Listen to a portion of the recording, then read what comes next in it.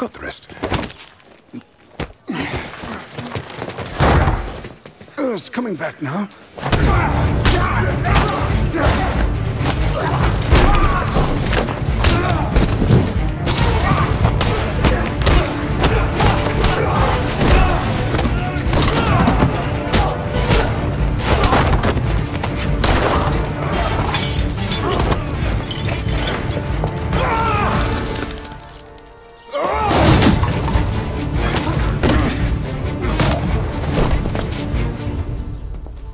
Peters!